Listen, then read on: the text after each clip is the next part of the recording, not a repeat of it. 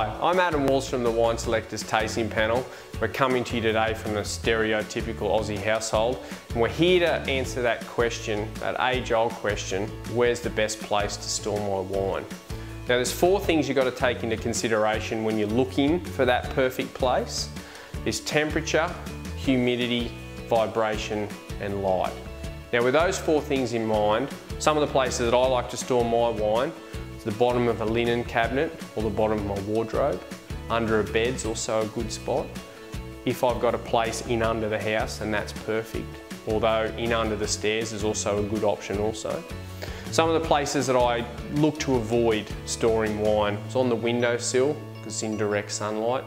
In a hot place like an uninsulated garage or a shed or near the fireplace is not good.